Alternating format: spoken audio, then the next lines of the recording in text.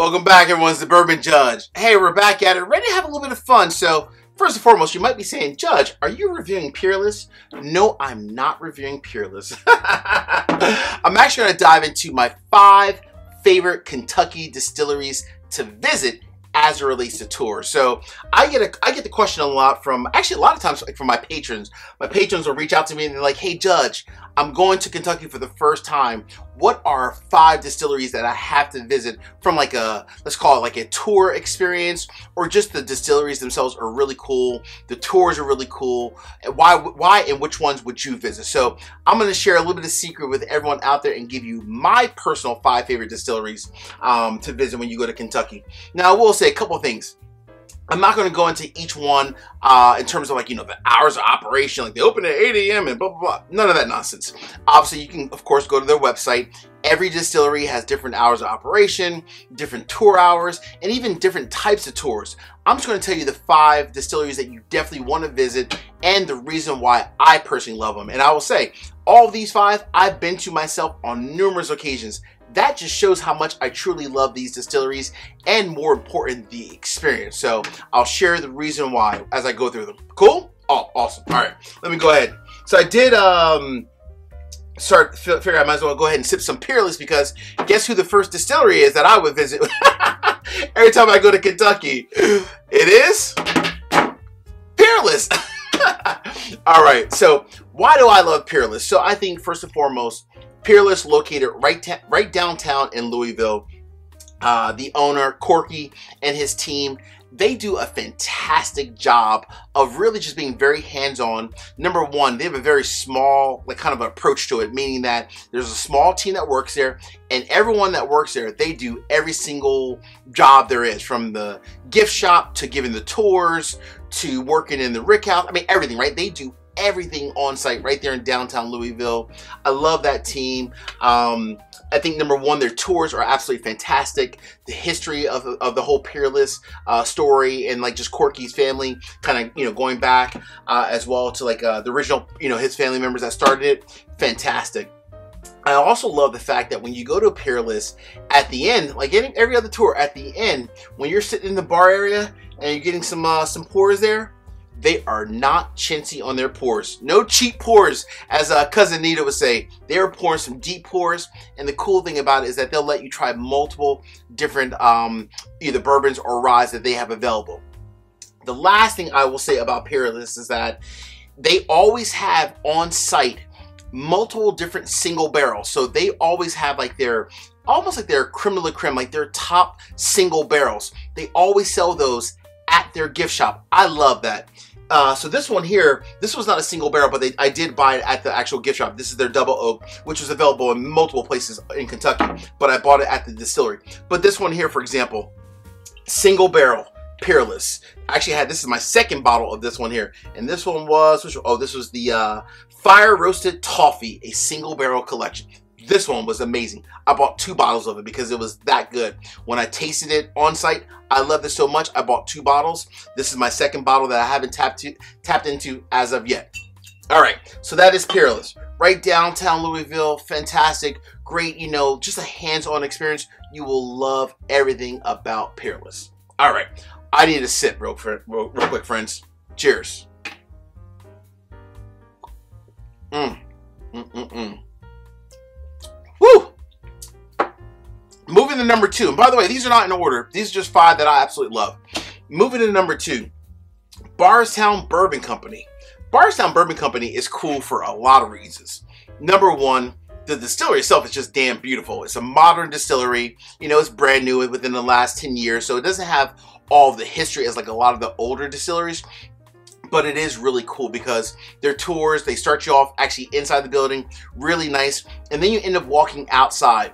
What I loved about it when I went on my, well, actually a couple different tours I went on, we had a chance to sample um, Fusion, Bardstown Fusion, straight from the barrel. So we had the Fusion series straight from the barrel. So it wasn't like the 98, 99 proof once they water it down.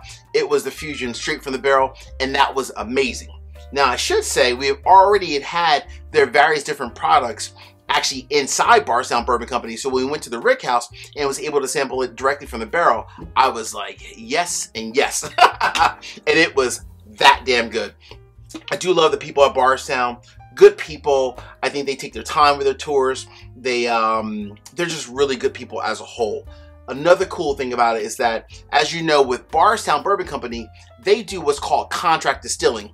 So a lot of other companies and brands can distill there using, you know, the brands, their own, let's call it, you know, uh, yeast strain and so forth, but they're using Bardstown actual property even to age it. So when you're walking through the rick houses, kind of cool when you look up above and you see all these different brands that contract distill right with Bardstown Bourbon Company. So you're like, ah, they don't have their own distillery, or they may have their own distillery, but they're using the majority of uh, Bardstown facilities for the actual distilling as well as for the rick house as well. So that's pretty cool.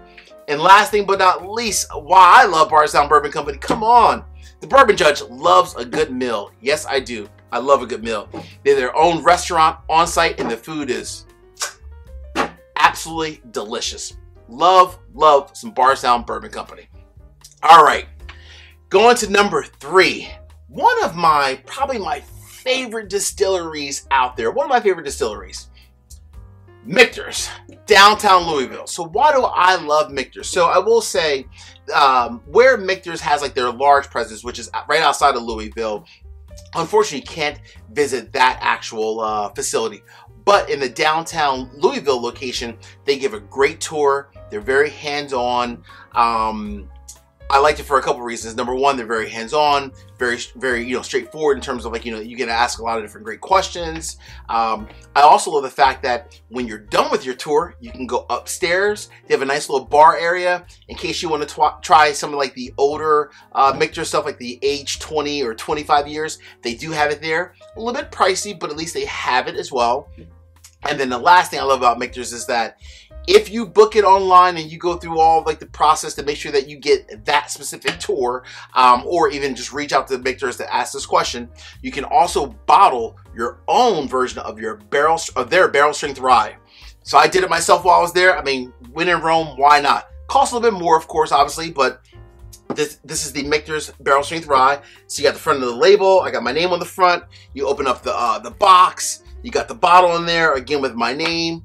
I mean, Michter's just does it right.